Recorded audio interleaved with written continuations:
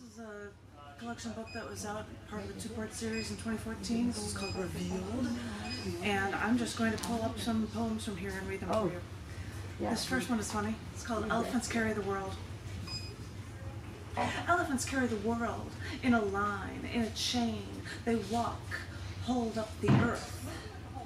And I remember sitting in the passenger seat with you driving down the road, and two elephants started walking down the street in front of us. Slow down. Get out of the way, I thought. And as you started to pull over, I looked at you in a panic and, and I said, but, but, but, but I don't have my camera with me. And you pulled over, and the two elephants, one much larger than the other, started walking across the street. And you stopped right in on the sidewalk, not three feet in front of us. So we both just sat there in shock and in awe until I watched a man from a building across the street come running toward us, slowing down and stopping at the ledge between us and the elephants. Angela, the offer's ready. He placed some hard wrapped candies on the ledge and he said to the elephant, I thought you might like these. And then he slowly backed away.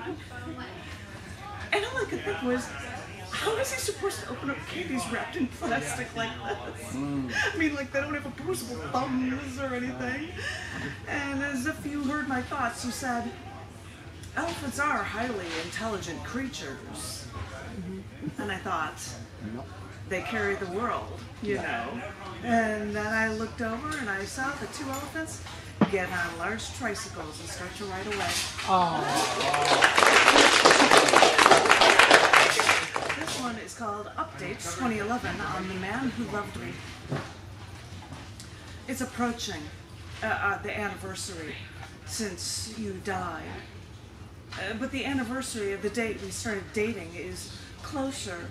And though we dated, I never got too close because I knew you'd pass away at an early age. Though I didn't know it would be that early. I, I never got too close. They, they, you told me that you loved me, and I think I hurt you when I said I couldn't reciprocate. I I think I felt the way you did, but I couldn't take that final step. But I remember how you said that you loved me and how you would break up with, and then you would break up with me.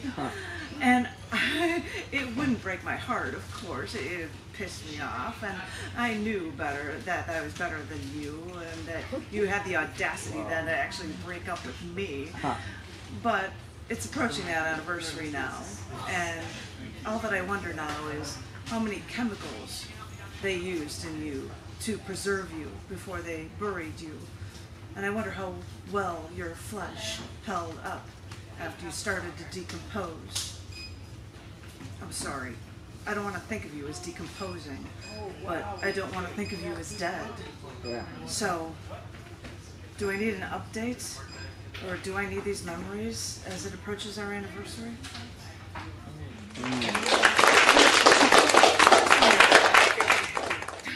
This one's called Games We Play.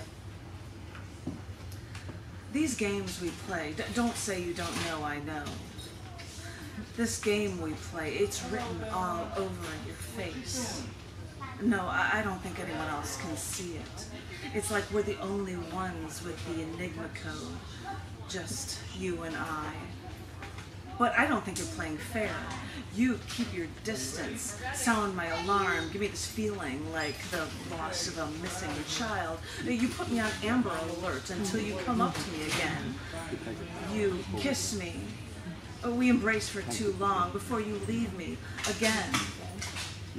And when we're together again, we meet in a crowded room. We remain at opposite corners, act aloof, Huh. act like we don't know the other one is just waiting there. So we play this game, almost avoiding each other until we're alone and we spill ourselves onto each other. And again, we embrace for too long before you leave me again.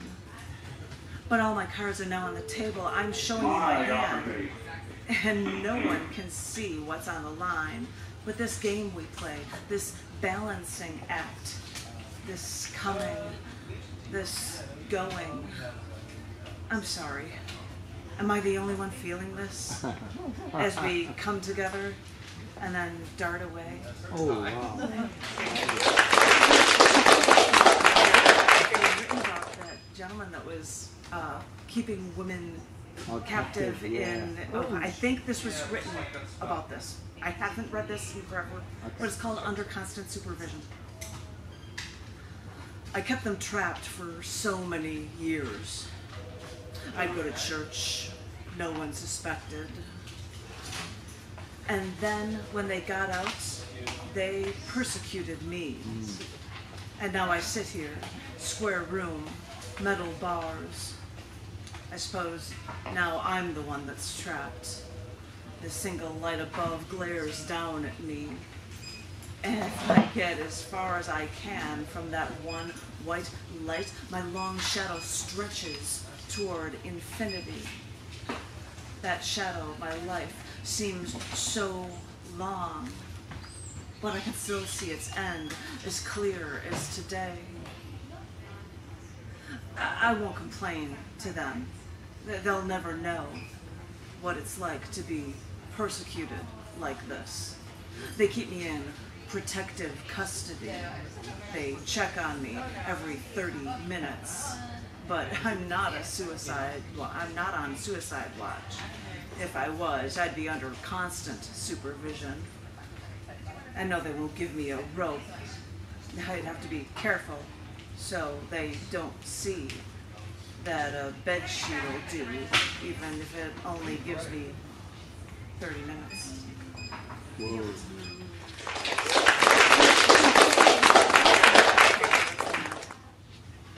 This is actually about a nutcracker, but it doesn't say that. It's called Garret's Lament. I know I truly belong to her, and I know I can never come to her. She can never claim me as her own. So I am reduced to waiting outside here, standing at vigil year after year, waiting for fleeting glimpses as she walks by. I know she cannot come to me. I know this is a line she cannot cross. That woman with those morals that keep her from me, as my still wooden bones keep me from running to her. I know Bartholomew stands guard while I wait, but he does whatever I say. He lets me go on thinking that that she is, I can always think of her this way. He lets me go thinking of how we are truly meant to be.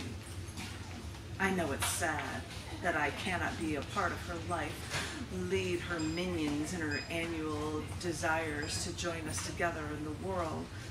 But I have been hardened by the coldness of time, wherein all I can do in this world is wait for her arrival, even if it's only to see her gaze at me endearingly before she leaves my sights again.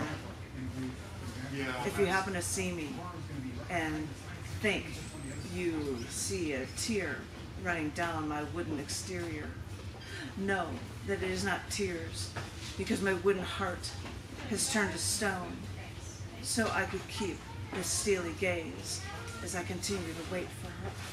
Can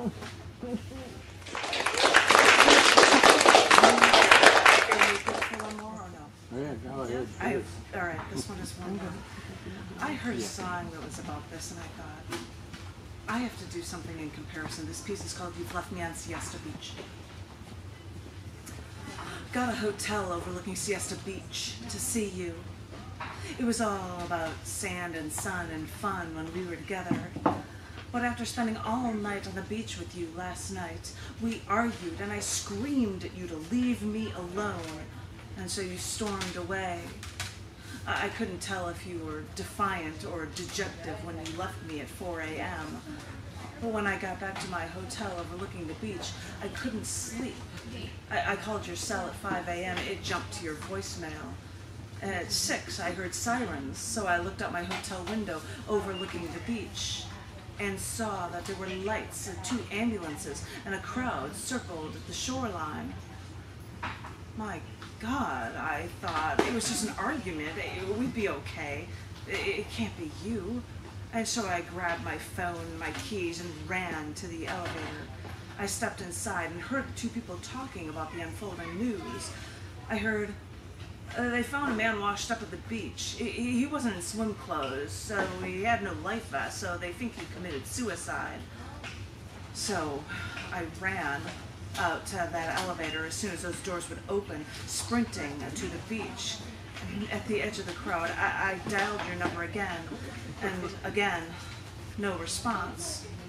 I glanced at the lights and I saw the EMTs and the gurney with a zipped body bag.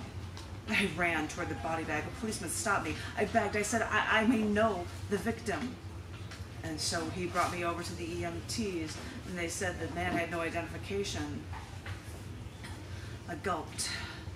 I, I said, I may know him. And they looked at each other and they told me to be prepared that once they open up that, that body bag, I better brace myself. And then they slowly unzipped the bag, and I looked at his face. He was bloated from being in the water so long.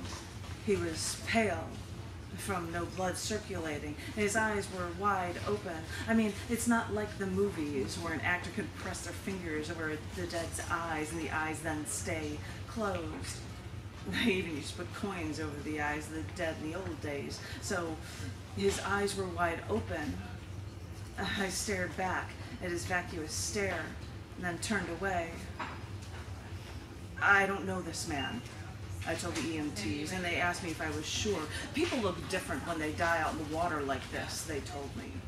And I said, that's not his eye color. And I walked away. And now I wonder what really happened that day, since I never heard from you again. Mm.